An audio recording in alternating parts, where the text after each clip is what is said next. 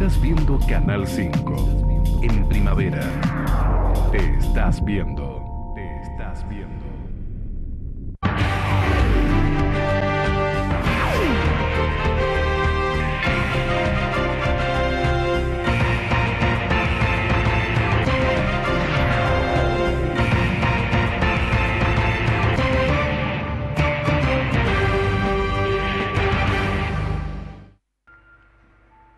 Hola, buenas noches, ¿cómo están? Bienvenidos a una nueva emisión de Teleflash por la pantalla de Canal 5 de Super Canal y también por el aire de Cadena 3 en 107.5, llevándoles a sus hogares 60 minutos con la información más destacada de esta jornada. Hoy día viernes, terminando ya juntos esta semana completa entonces de información. Recordemos que como todos los viernes vamos a estar junto al doctor Jorge Ernesto Zagarese con su columna de política nacional e internacional. También con Fabiana Vergara vamos a compartir su columna de discapacidad sobre el final de nuestra emisión. Llegará el momento de Jorge Cruz con los datos del tiempo y a las 21 horas vamos a aclarar que Ariel no estuvo ni ayer ni va a estar hoy por eh, la veda electoral se ha decidido levantar el programa, se complicaba mucho tocar los temas que son habituales en vainilla y limón en referencia ya a la veda electoral que ha comenzado a las 8 de la mañana del día de hoy y es por eso que por una decisión del canal hemos decidido levantarlo el programa tanto ayer como hoy, así que a todos eh, los que se han preocupado y han estado llamando al canal durante todo el día les agradecemos mucho,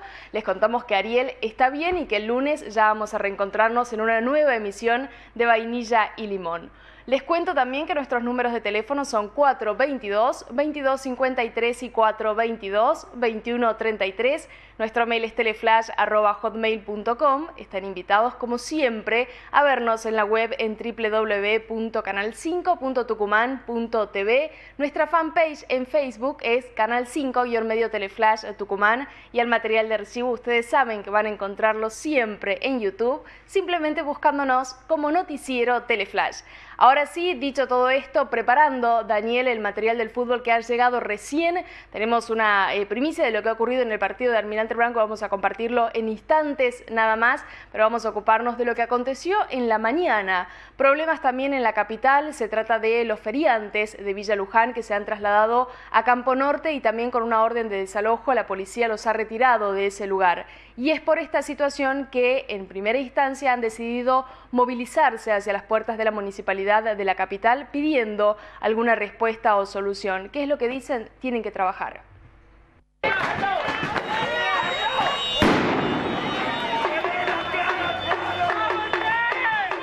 nos está desalojando de todos nuestros lugares de trabajo. Y somos familia, vivimos de esto. Somos gente de trabajo, quiero que entiendan eso. Hay una votación el domingo. Nosotros somos votantes que lo hemos elegido para que los gobiernen a todos en paz, con tranquilidad y no que nos tiren la policía encima porque no somos ningunos delincuentes. Hay muchos funcionarios que fueron a pedir, que ahora están en el gobierno, que fueron a pedir sus votitos en la feria. Para eso ya los feriantes les servían. Hoy, que nos tienen que dar una solución, ninguno nos quiere dar la cara. Todos se esconden. Ustedes se trasladaron a Campo Norte, allí estaban. Sí, estábamos en Campo Norte. No molestamos a nadie y los vecinos están muy contentos con nosotros. Salieron a apoyarnos esta mañana, pero estaba la policía montada, la, la motorizada, infantería. Desde anoche están. de desalojo? De la, de la municipalidad y del Ministerio del Interior, que hay una denuncia según la policía, que hay una denuncia del Ministerio del Interior. Por lo menos, ¿por qué no nos dejan trabajar? ¿Hay ¿Por algún qué? compromiso de ser recibidos ahora? Este, el señor jefe de policía el de la Guardia de acá nos dijo que nos trataba de concordar una cita con el Internet para que nos reciba. ¿Cuál va a ser el pedido puntual de ustedes? Tenemos varias presentaciones acá pidiendo un diálogo con la municipalidad, con este gobierno y con el anterior. Y ninguno se arrimó, no nos contesta nadie. Le pedimos una tregua. 45 días pedíamos para trabajar hasta que pase la fiesta y se podamos ubicarnos en alguna parte, pero nadie nos convocaron a las reuniones que ya hubo No, acá? ninguna, solamente una reunión tuvimos, que no nos dieron ninguna solución, que ellos no tienen solución para nosotros. ¿Quieren hablar con el secretario de gobierno? ¿Ahora No, quieren ir directamente con el intendente.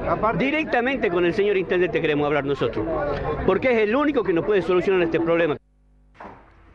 Continuamos hablando de esta situación, se trata de los feriantes de Villa Luján que se trasladaron a Campo Norte y hoy también con una orden de desalojo fueron retirados de ese lugar. Como lo escuchábamos en la nota, lo que piden es ser recibidos por algún funcionario de la municipalidad, pedían directamente con el intendente. Sin embargo, fueron recibidos por el secretario municipal, estamos hablando de Walter Berarducci, quien eh, comentó a la prensa que es imposible que ellos puedan instalarse en estos lugares y que no están dispuestos a ir en contra de la ley para que esto suceda. Vamos a escuchar entonces su palabra, confirmó también que en este tema no va a haber ninguna excepción. Vinieron a plantear la, necesidad y un permiso a través de una asociación que están conformando para el uso de la plaza de Villa Luján. Bueno, y la municipalidad a través de mi persona le volvió a reiterar la postura de hacer cumplir la normativa municipal vigente y también la orden judicial por la cual el juez ordena el desalojo y el uso público de la plaza de Villa No, Luján. lo mismo sucedió con Campo Norte. Eh, no, no, porque estamos diciendo no se puede eh, hacer excepciones a ningún ciudadano para el cumplimiento de la ley y el cumplimiento de una orden judicial. Secretario, la protesta se inicia porque ellos estaban instalándose en Campo Norte y dicen que la municipalidad también ordenó el desalojo. ¿Es así? Eh, no, no es así, eso también le fue aclarado a ellos. Eh, yo también hoy en el día de la mañana me enteré del- de la medida policial de impedir el acceso a Campo Norte, que es un predio provincial, no municipal, así que nosotros, eh, ningún funcionario municipal puede actuar ni dar instrucciones sobre un predio que no le es propio a la municipalidad. Según a, a ellos les dijeron que la municipalidad había dado la orden. Bueno, eso le estoy diciendo yo a usted. Ellos dan el ejemplo además de los vendedores ambulantes del microcentro que tuvieron una excepción, un tiempo de gracia para seguir trabajando y piden las mismas contemplaciones. La excepción la dio creo que el anterior gobernador de la provincia, no el, no el funcionario que le habla. ¿El reclamo se tiene que trasladar a otro ámbito para ustedes? Eh, yo creo que como ciudadanos tenemos que empezar a hacer cumplir las normas, los funcionarios a cumplir las normas y como ciudadanos tenemos que saber que no podemos vivir de excepciones en excepciones, sino atenernos a las reglas vigentes que tenemos. ¿Y qué respuesta le puede dar a usted? Eh, la respuesta que le estoy dando a usted, es decir, las Digo, actividades... necesitan trabajar. Eh, sí, todos, usted también trabaja, todo lo que estamos acá traba- trabajamos y lo hacemos dentro de la normativa vigente, ¿no es cierto? Usted no está excepcionalmente trabajando. Creo que es lo que tenemos que entender como Estado y como ciudadanía, obviamente a través del diálogo, si se quiere, del consenso, de mesas, pero creo que es la forma de recuperar la institucionalidad en la municipalidad, en la provincia y que va a repercutir obviamente en la mejor calidad de vida para todos. Cambiemos la Ellos el lunes- entonces, ¿hay chances de reglamentar o darle un marco Por- legal a ellos Por, para que por puedan supuesto, trabajar? toda, toda norma, toda ley no es rígida, sino que puede ser este, modificada, cambiada, de acuerdo a las circunstancias eh, sociales, pero eso es de un trabajo que no es únicamente de este funcionario, acá estamos ya hablando que para cambiar normas y leyes hacen falta otros poderes del Estado que también tienen que intervenir, pero desde ya le dejo aclarado, toda norma está sujeta a modificaciones, a cambio y adecuación. La Asociación de Feriantes entonces finalmente fue recibido uno de sus representantes para mantener diálogo con funcionarios municipales y ver cuál era la respuesta que les daban. Luego de este encuentro buscamos justamente su palabra, se mostraron muy disconformes, compararon su situación a los de los vendedores ambulantes y exigen de alguna manera que los dejen instalarse hasta las fiestas para poder trabajar y luego ver qué es lo que van a hacer. Vamos a escuchar entonces lo que nos decían en la mañana de hoy el conflicto de los feriantes. Compromiso ninguno, porque él dijo que es complejo y delicado fueron las palabras. No nos da autorización de nada, no nos autorizó por la vereda y dicen que ellos no mandaron la presencia policial. Cuando nosotros preguntamos a la presencia policial que estaba en Campo Norte, nos dijeron que eran por orden de la municipalidad. Y ellos dicen que no, que no mandaron nada.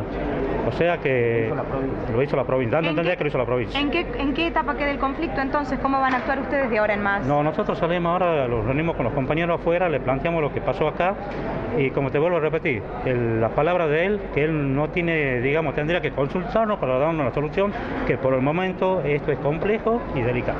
¿Y qué van a hacer entonces? Nosotros pensamos ver qué es lo que dicen ahora en la, en la asamblea con los compañeros afuera y ver cuál es la cuál es la, la decisión que tomamos. Nosotros tenemos acá dos presentaciones. La última se la hizo el, el jueves, el, jue- el miércoles, a donde se le pedía eh, un, permiso, digamos, a la asociación que nos autoriza a entrar en la plaza por 45 días. 45 días pueden parecer mucho, pero son, son, ya no son siete viernes, son menos de siete viernes hasta que pasen la fiesta. No nos olvidemos que los compañeros, los vendedores ambulantes, cuando se les aproximaba la fiesta, a ellos les dieron un permiso para que trabajen hasta después pasen la fiesta. Nosotros también queremos tener el mismo derecho. ¿Ustedes están dispuestos? ¿Quieren ustedes volver? En Villa Luján está hecha la nota, el pedido. Ahora, lo que sí te puedo asegurar que nosotros el lunes mismo estamos presentando una nota, un escrito en el UNADI por la discriminación, porque hay una ley que la, una ley donde habla de los actos discriminatorios por la gente mayor que tenemos en la feria y que está sin trabajar. Ahora sí, buenas noches Daniel. Mucho material preparando, ¿no? Sí, una jornada con mucho trabajo. ¿Todo bien? Todo en orden, tranquilo, me, me sorprendió así de repente. Vamos a tener lo de Brown, que ya lo anticipó Guille, incidente sobre el final, un jugador de Villacuba se agredió al árbitro, vamos a tener esas imágenes acá en este noticiero. Bueno, vamos a compartir eso, también, bueno, ya anunciamos que vamos a estar con Jorge Cruz, con el doctor Jorge Ernesto Zagarese, con Fabiana Vergara y más información tenemos también. Así es, tiene que ver con la reforma electoral que fue planteada en su discurso cuando asumió la gobernación eh, Juan Mansur, ¿se ha convocado una mesa de diálogo? Vamos a escuchar ahora la palabra, la opinión y el análisis puntualmente del legislador Eudor Arauz decía lo siguiente. Es un paso positivo eh, que el gobierno de la provincia de Tucumán eh, cambie la metodología del anterior gobierno de la administración Alperovich y crea en el diálogo, con mínimamente nos convoque al diálogo.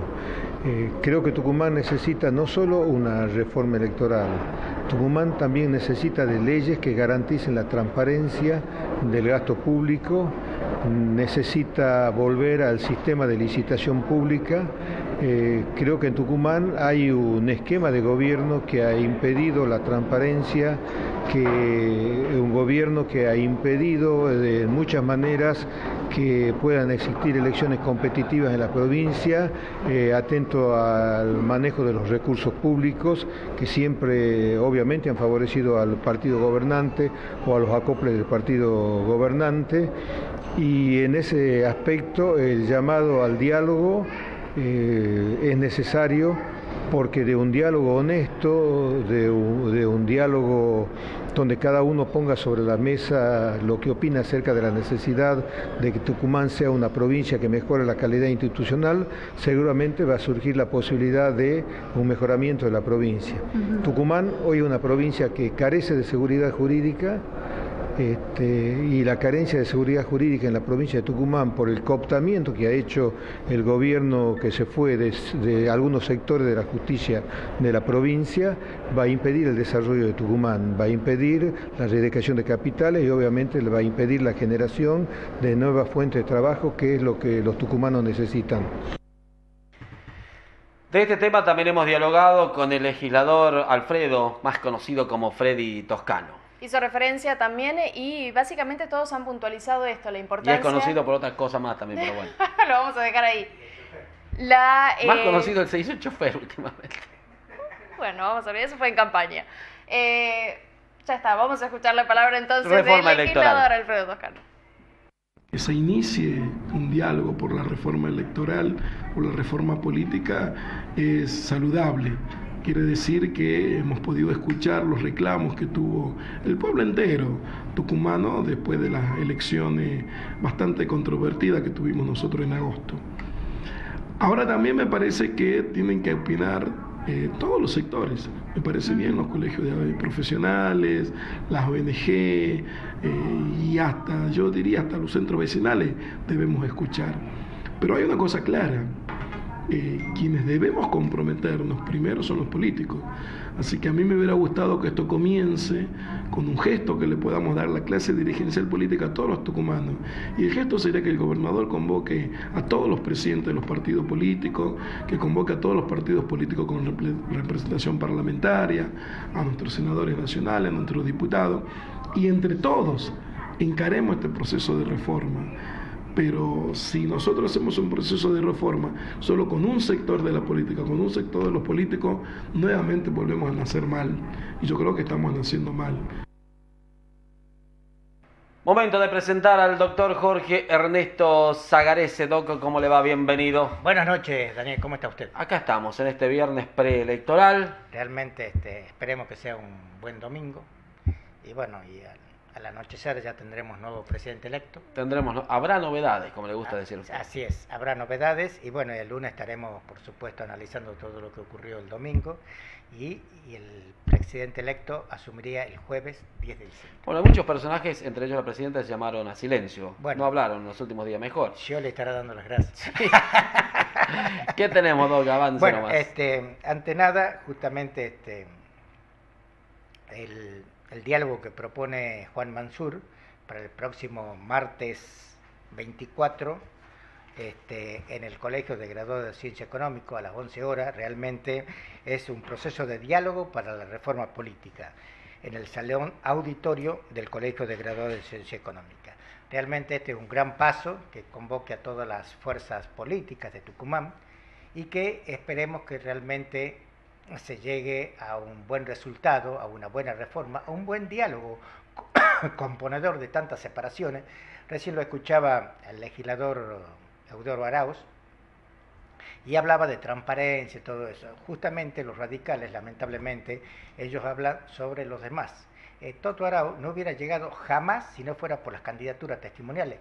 Nadie lo conoce en Tucumán, salvo por supuesto los grupúsculos políticos. Fue una mentira de Elías de Pérez que se ella misma como legisladora y renuncia para ser senadora y justamente da lugar, esto es una vergüenza, esto no puede suceder más, que el pueblo tiene que conocer quiénes ocupan las bancas legislativas y ahora resulta que, eh, que es legislador electo, realmente es una incongruencia de pidiendo transparencia al oficialismo cuando el radicalismo tiene una historia nefasta en cuanto a este, no transparencia. Este, fíjense en ustedes que los grandes adelantos que dicen que, que puede favorecer a los seres humanos, pero a los postres termina este, siendo nocivo. Prueba que sin redes sociales se vive con más satisfacción. Este, todas estas cuestiones lo afirmó un grupo de usuarios de Facebook que se desconectó una semana para un estudio, dice que ese espacio estimula la comparación con los demás. Bueno, todo esto de los adelantos tecnológicos, la dependencia de los celulares, la- el tema de las redes sociales, todo eso ha convertido este, a los seres humanos en eh, adictos. Entonces todo eso produce un trastorno neurológico tremendo, tremendo. Realmente este, ya hay lugares en los cuales se ofrecen este, recompensas para quienes dejen los celulares a la entrada. Se llegó a establecer que se ve los celulares entre 150 y 200 veces al día. Es una total de, de dependencia en las cuales, el- y cuando caen las redes, que sucede habitualmente, porque eh, las empresas de celulares son realmente desastrosas, este, el- la persona se siente abandonada, que es como un gran agujero negro que no sabe qué hacer con su vida. Bueno, todo esto ha producido esta tecnología que, este, que esperemos que en algún momento este, ya no se lo tome como grandes avances, sino que lo utilicen y que no sean utilizados por la tecnología. Lo utilicen en forma armónica, pero no para destruir sus vidas y puedan vivir, como dice acá el título de esta nota, con mayor satisfacción. El otro tema, que es el día de hoy convocante, por supuesto, el día 20 de noviembre de 1845 se daba la batalla de vuelta de obligado, que, este, Juan Manuel de Rosa se opone valientemente al- a la navegación del río Paraná este, por las potencias extranjeras, Francia e Inglaterra en ese momento, y que este, justamente el general Lucio Mansilla es el que toma la posta para, para estar allí, o sea que es la batalla del Paraná, ahí la vuelta de obligado, y con diversas este, baterías, la Quebracho, el Tonelero, la San Lorenzo, este, que valientemente, por supuesto que los cañones de semejante armada termina haciendo estragos en los argentinos, pero la valentía de esos hombres en ese momento fue tremenda. Tal es así que fíjense ustedes lo que ocurrió, que dice este, una carta de San Martín a su amigo Tomás Guido el 10 de mayo de 1846, o sea, unos meses después. Los interventores habrán visto que este suceso, que los argentinos no son empanadas que se comen sin más trabajo que abrir la boca. Y felicitaría al restaurador, la batalla de Obligado es una segunda guerra de la independencia.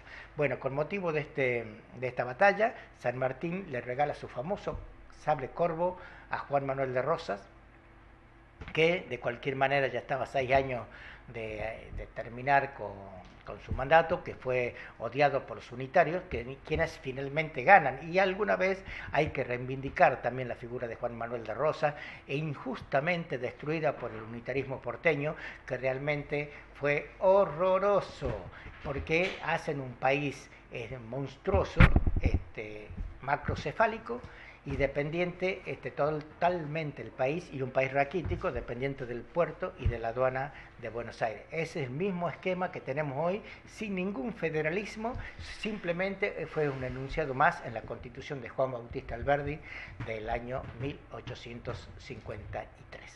Muy bien, Doc, ¿qué le queda algún saludito? Bueno, este, un saludo para, este, para el oficial de justicia Alves, para Pepito, de mi amigo Pepito de San Francisco. Pepito el pistolero. Sí, y bueno, y para todo el pueblo tucumano, que el día domingo vayamos a las urnas con convicción y que esperemos que este, sea quien sea elegido, tanto Scioli como Macri, este, sea un buen presidente, que es lo que anhelamos siempre los argentinos y que lamentablemente vuelta a vuelta nos defrauda. ¿A qué hora vota usted, doctor? Yo siempre temprano, usted sabe que... Va a abrir la escuela. ¿eh? Miren, si llega a faltar algún fiscal, algún. No, no, para eso ya no, pero el tema es que siempre... ¿El estoy- primer voto que va a ingresar a la urna? No, bueno, primero, segundo, se da cuenta, pero siempre estoy ahí con los, con los de la mesa, haciendo chistecitos, como soy yo. Bien, doctor. No va a ir con el voto cantado, ¿no? No, para nada. Nos vemos, doctor, el lunes y analizamos qué ha dejado este domingo Perfecto. electoral con nuevo presidente ya. Perfecto, muchas gracias, Daniel, hasta el próximo lunes. Muy bien, momento de compartir la pausa. En el próximo bloque estará Fabiana también, en el último Jorge Cruz y este anticipo. Nos vamos a ocupar de el plan Cunita, qué novedades hay en este caso, ya volvemos.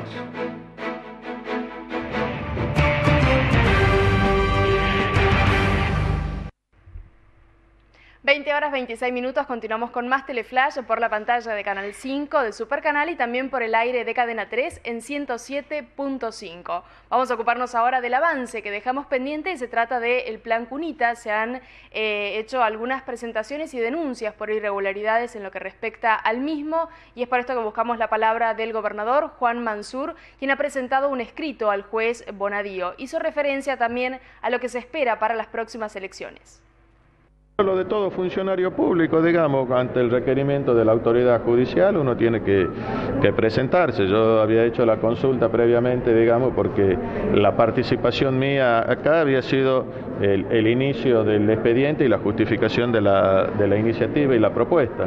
Y ustedes saben que cuando uno pone en marcha un proceso de estas características, eh, hay normativas legales vigentes, digamos, que están las IGEN, que están las autoridades judiciales y los asesoramientos jurídicos competentes, y bueno, y se arman los procesos que son estándares dentro de lo que es la administración pública. Por eso le, le pedí al señor juez, como había una serie de, días y de datos y agregar eh, documentación técnica, que una vez es difícil poder recordar todo, le pedí si podía hacer este, un reconto por escrito para no equivocar nada y bueno, él me dijo que sí, que estaba correcto, por eso que le entregué toda la, la documentación que corresponde, digamos, pero son las cosas normales dentro del requerimiento que puede hacer la, la autoridad judicial, digamos, y uno tiene que cumplir con los requerimientos, eso es todo. Ahora, ¿cómo analiza la presentación y los cuestionamientos que hay al programa o el manejo de sus recursos? Bueno, esto es la justicia la que tiene que, que definir, digamos, así que en ese sentido el fin es un fin bueno, se han hecho todas las cosas como, como corresponde, así que ahí yo no tengo duda, digamos, que la obligación nuestra ante cualquier requerimiento es con, tranquilidad y que sea una verdadera fiesta, digamos, y bueno, eh, a partir del día, del día lunes ya la Argentina va a tener un nuevo presidente de la nación. Continuamos ahora con más información. Vamos a cambiar de tema para hacer referencia a un petitorio que ha presentado Alberto Levos, el padre de Paulina.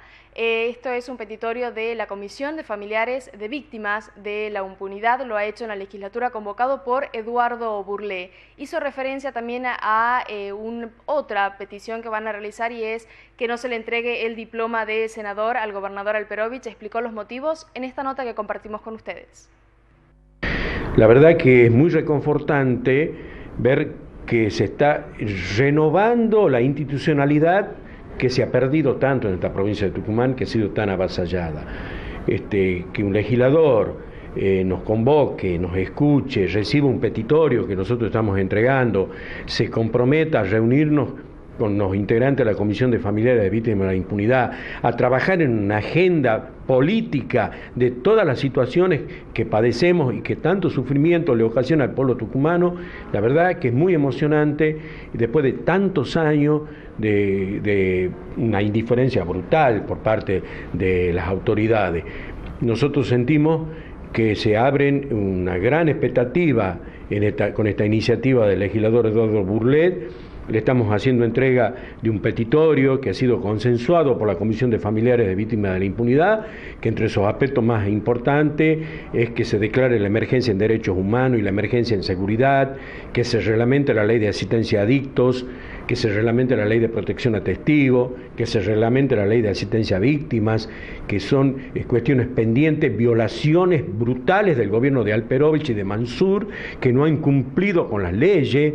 Estamos pidiendo una serie de actividades y, de, y nos venimos a poner también a disposición para trabajar conjuntamente, fundamentalmente para prevenir que se termine esta situación de impunidad en la provincia de Tucumán y para ayudar a las familias que están padeciendo estos delitos tan graves que en muchos casos están impunes y que hace falta que se ponga en la agenda política esta situación. Así que este, estamos muy emocionados. También estamos pidiendo al legislador Burles que nos acompañe en la exigencia al Senado de la Nación que le rechacen el diploma del senador de la provincia de Tucumán, Alperovich. Nosotros decimos que es inhábil moral por todo lo que estamos denunciando eh, decimos que no puede él ser representante genuino de los tucumanos porque está violentando muchísimas leyes y tiene que rendir cuenta ante la justicia, fundamentalmente la protección que le ha dado a los encubridores del homicidio de Paulina. ¿Por qué no le ha pagado el 82% a los jubilados? ¿Por qué no ha reglamentado estas leyes que nosotros denunciamos? Tiene que rendir muchas, tiene que rendir cuenta de muchos delitos que ha cometido este Alperovich ante la justicia y ante el pueblo tucumano. La palabra va a ser ahora justamente del legislador Eduardo Burlé, quien aseguró que este encuentro que realizó con Alberto Levos se hizo en el marco de la promesa que él mismo realizó en el juramento de su asunción, haciendo referencia a que iba a terminar o a colaborar para que se esclarezcan los hechos de impunidad en nuestra provincia. Primero que nada, cumplir este, con, lo que significó mi juramento, es decir, por el esclarecimiento del asesinato de Paulina Levo, por el 82 móvil también, y todos los que en definitiva los tucumanos confían en nosotros. Por eso la reflexión a todos los legisladores que nos saquemos la investidura, que nos pongamos en lugar de las víctimas para que de manera humana podamos resolver y avanzar en cada uno de los casos. Es decir, eh, ¿qué es lo que reclama la sociedad en la provincia de Tucumán? independencia de la justicia, que haya eh, transparencia, celeridad y que no esté atada a los poderes y a los eh, gobiernos de turno. Eso no solamente el Poder Judicial, el Poder Ejecutivo, el Legislativo, tenemos que tener la independencia para poder dar respuesta a, los tucumanos. A mí me alegra este, la presencia de Alberto, que en esta invitación dijo presente, que está acá y, estas puertas van a estar abiertas siempre para él y todas las víctimas de la impunidad, como así también de cada uno de los tucumanos que por distintas razones este, necesiten de quienes los representamos acá en, la legislatura. Así que eh, no es nada nuevo, no, queda solamente en la palabra, en lo que tiene que ver con una expresión de deseo, sino este, en los hechos y acompañarlos, porque eh, lo que pasa en Tucumán, este, hay cientos de Paulina y la responsabilidad nuestra, que comienza ahora, tiene que ser un cuerpo colegiado que a partir del presidente tome carta en el asunto y sobre todo acá en la Avenida Sarmiento y en los poderes judiciales, sea en la Avenida Sarmiento, en la Madrid, tiene que dar respuesta a cada uno de los reclamos que hacen los ciudadanos. Muy bien, más información en esta emisión de Teleflash. Guille, nuestros compañeros esta mañana tuvieron una ardua jornada después de tomar un rico café. Sí, Los bocinazos los sorprendieron. Sí, pero antes han realizado una nota también en el Sí. Consejo Deliberante porque hay denuncias Tiene razón. de el edil. Saliendo del consejo estaba el tránsito atascado. Pero eso vamos a ocuparnos De después. eso va después. No había mucha actividad tampoco en el consejo. No, y esa fue justamente la crítica, Daniel, del concejal eh, Ricardo Bussi. Vamos a escuchar lo que decía. Denunció también que hay ratas en el consejo. No me diga, ¿a dónde? ¿En las bancas? No. No sé. Estamos ya hace cuatro semanas en el cargo y este consejo no logramos que se ponga en funcionamiento. Hay además de problemas edilicios graves, gravísimos, eh, el sótano lleno de escombros, hay roedores por todo el edificio, falta de materiales mínimos para trabajar insumos como papelería, lapiceras, hojas, eh, bueno, en fin, un consejo que está totalmente paralizado. Además de ello, la- las comisiones han sido distribuidas de una manera totalmente arbi- arbitraria. Eh, a mí me han dado una sola comisión. Yo cuando era legislador eh, era uno solo sobre 49, tenía tres comisiones. Ahora que somos dos concejales sobre 18, nos dieron una comisión. Eh, cuando hay otros concejales, como el caso de Pellegrini, Franco, para citar algunos, que tienen tres o cuatro, lo cual nos parece una arbitrariedad eh, injustificada y nosotros eh, nos enoja la situación y queremos un trato igualitario. Además, eh, esperamos sancionar. Eh, queremos integrar debidamente el cuerpo. Hay tres concejales que han pedido licencia, con lo cual el cuerpo está, está rengo. Somos 15 en lugar de 18. Y nos parece que es un acto eh, deliberado, que no obedece a ninguna razón fundamentada y queremos corregirlo rápidamente. Más allá de la nota remitida a la presidencia, ¿ha podido charlar con sus pares al respecto? Sí, sí, y de hecho hoy mismo hemos hablado también con el presidente una vez más, lo hemos hecho ya seis o siete oportunidades, tratando de lograr algunas definiciones que no conseguimos. Eh, verdaderamente me preocupa porque es la cabeza visible de este cuerpo quien debe conducir a la institución y no lo está haciendo debidamente. Bien, raro, ¿no? Tantas ratas supuestamente en el Consejo Deliberante. ¿Qué ha pasado también en esta mañana? No lo voy a decir terminar de decir yo, así que no se preocupe. ¿Qué pasó? Los chicos terminaron de hacer la nota, Sí. Cecilio, Franco salieron A tomar otro café. A tomar otro café, iban los chicos y se encontraron con un caos en la esquina justamente del Consejo Deliberante. Advirtieron la cantidad de autos mal estacionados e irrumpiendo la ley, porque está el cartel de no estacionar, y eh, un puntual problema con un camión que intentaba doblar también. Y un camión, por supuesto, con su tamaño circular en la zona céntrica es muy, pero muy complicado.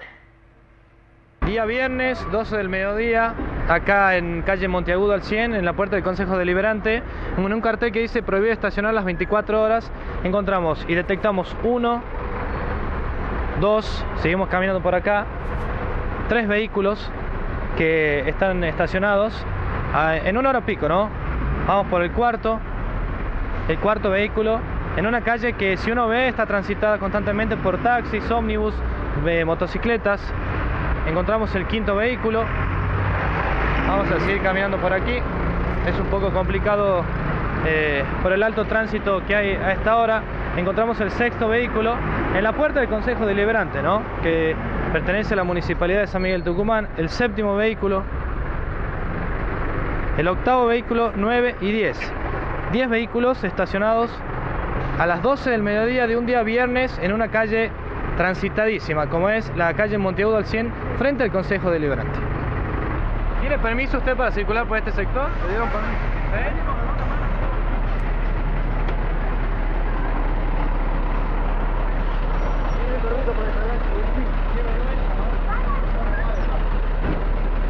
No, no entiendo, digamos, lo mandan para acá, el tipo no conoce y lo mandan acá, mira con ese auto mal estacionado ahí. Complica todo. Entorpeciendo el tránsito, el- la gente. Y sí, él supuestamente tiene un permiso para circular acá. Tenemos un auto mal estacionado, abandonado ahí en la vía pública. ¿Vos le estás ayudando a él? Le estoy colaborando para que pueda despegar de acá. ¿Vino gente a, a preguntar qué pasa acá con el representante? No, nadie, nadie. De tránsito de policía no se hizo presente nadie, No, no, por el momento nadie. ¿Hace cuánto tiempo que están acá entorpeciendo el tránsito? cinco minutos, diez minutos, pero bueno, no hay manera, mirá, vos lo estás viendo acá. ¿De quién es el vehículo ese? Reconozco, para mí eso por el estado de la como está el vehículo ahí está abandonado, digamos, para mí está secuestrado ese auto.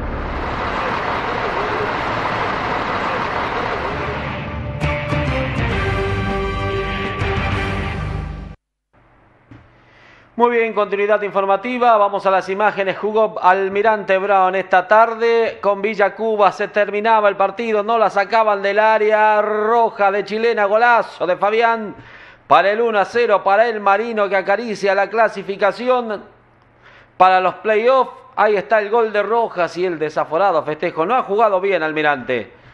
Para colmo de males se lesionó la Foca López. Su goleador fue reemplazado y retirado en ambulancia por un problema en un codo luxación de codo, vamos a ver el gol de nuevo.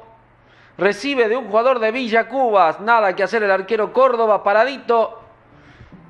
Esto pasaba ya cuando el partido se iba. Sale la contra, había una mano anterior, lo bajan a Ibarra, la pelota se iba a meter, pero la sacan de la línea.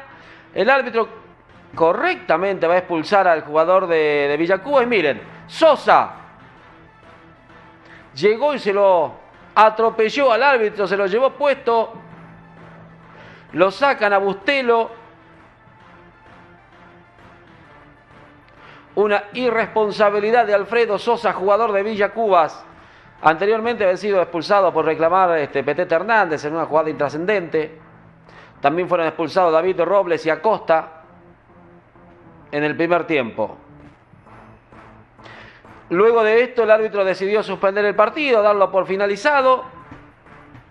La agresión entonces de este jugador con el árbitro Bustelo empañó esta tarde de fútbol en Lules. Ha ganado Almirante, va a jugar el lunes con Unión Santiago. Con un empate asegura el pase a la otra ronda. Muy nerviosos los jugadores de Villacubas, algunos suplentes intentando separar los jugadores de Almirante alejándose del centro de escena, claro, ellos no tenían nada que ver. Tiene la sensación que la jugada, no protestan ellos la expulsión del arquero que si bien el árbitro dejó seguir, ellos reclaman una mano, cuando había un pase fue interceptada por un jugador de Almirante. En definitiva, el equipo de Salas ha ganado por 1 a 0, seguramente a este jugador le caberá una fuerte sanción. Jorge Cruz y los datos del tiempo. ¿Qué tal? Muy buenas noches. Bueno, han comenzado a mejorar las condiciones ya en la jornada de hoy con disminución en los índices de vapor de agua, poca humedad relativa durante la tarde en algunos sectores del noroeste, como en el caso de Catamarca, con 18%, 20%, veníamos de jornadas muy húmedas. Bueno, también nosotros tuvimos ya nubosidad parcial, ahora está despejado. Se va a mantener así el fin de semana con buen tiempo cielo despejado parcialmente nublado. Vamos a ver el mapa y las temperaturas en otros sectores, como en el caso de la Patagonia. 3 y 11 fueron las temperaturas extremas en el, en el sector patagónico, 8 y 22 en el centro, 14 y 26 en la zona norte. En cuanto a nuestra capital, en nuestra llanura, vamos a ver el mapa de Tucumán y allí tenemos que la temperatura máxima 25 grados 4 décimos a las 4 de la tarde, 15 grados a las 6 de la mañana, esa fue la mínima. 9,68 la presión en hectopascales, 18 grados la actual, 40% la humedad. Y el pronóstico indica que se va a mantener, como dijimos, con cielo despejado parcialmente nublado, 12 y 27 en la jornada de mañana. En zonas de altura como esta Fidel Valle, las temperaturas estarían oscilando entre 8 y 23 grados. Vamos a ver ahora en cuanto al día domingo, también va a continuar con buen tiempo, cielo despejado parcialmente nublado, pero ya 13 y 29, el lunes 15 y 31, el martes 15 y 32. Comenzará en gradual ascenso, pero tanto mañana como el domingo el fresco matinal se hará notar porque hablamos de mínimas de 13 14 grados. Por lo tanto, condiciones de buen tiempo en zonas de altura un poco más fresco, siempre es de anotar 4 o 5 grados menos en las mínimas y también en las temperaturas máximas. Buen tiempo entonces el fin de semana, será hasta el próximo lunes. Gracias. Muy bien, Guilla, tenemos algo muy importante, un saludito. Sí, vamos a mandarle un beso muy grande a Marta Páez, que está cumpliendo años hoy. Nos ve todas las noches, así que a ella le mandamos un saludo grande y también a nuestra compañera Verónica, que cumple años hoy. Así es, la popular Yuku, muy querida por todos, está festejando su cumple, ya vamos a la fiesta.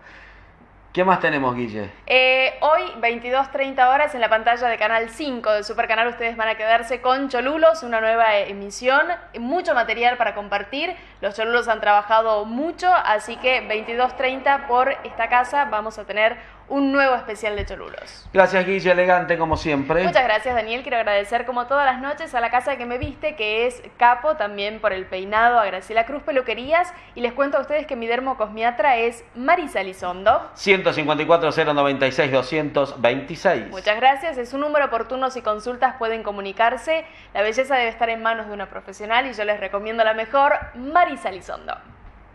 ¿Qué más? Nos maquilló como todos los días Selena Paraceres. Nos vamos. ¿Qué tiene pensado el fin de semana aparte de votar esta noche? ¿Sale con Bernie? ¿Está Sí, sanito? hoy? seguramente. Sí, sí, sí. Eh, un viernes sano, Bernie. No, no le conviene ya. No. ya se dio cuenta. Cambiar la estrategia, Bernie, de enfermarse los viernes. Nos vamos, buen fin de semana, a votar el domingo y el lunes ya estaremos, por lo menos, con el nombre de quién va a ser el futuro presidente de los argentinos. Buen fin de semana, chao. Estás viendo Canal 5. En primavera. Te estás viendo.